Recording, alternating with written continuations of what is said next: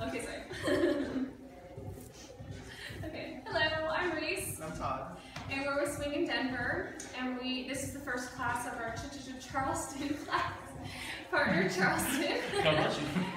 so today we started with the with the basic. we talked about being on the balls of your feet and floating your heels, bending your knees, pulsing in between on every count, which the basic looks like this. Five, six, seven, eight. One, two, three, four, five, six, seven, eight. One, two, three, four, five, six, seven, eight.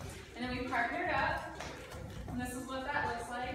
One, two, three, four, five, six, seven, eight. One, two, three, four, five, six, seven, eight. Then we did some styling. We did a, a hand, wait, not raise the roof according to Todd, but you know.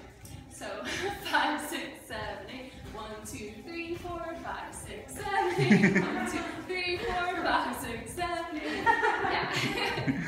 and then we did Skip ups. skip ups, which So um, I start the skip up on one and a half, two. So I really plant my, my rock step and I start to push off.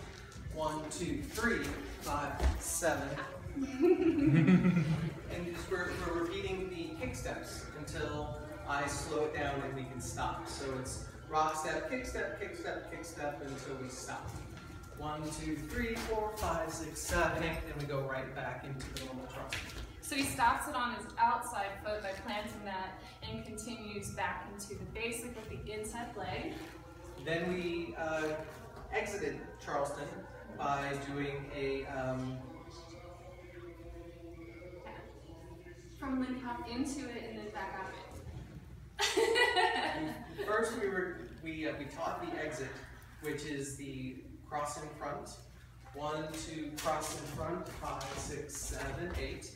And the way I lead this is I we start close and I leave her there and I get further and I let her hand let her my hand draw past her body. One, two, three, four.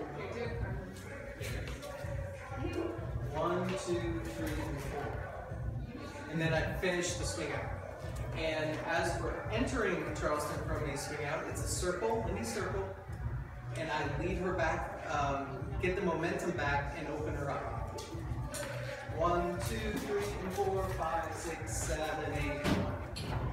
And I talked about keeping a tight circle on the, on the Lindy circle, and then opening up for the uh, Charleston.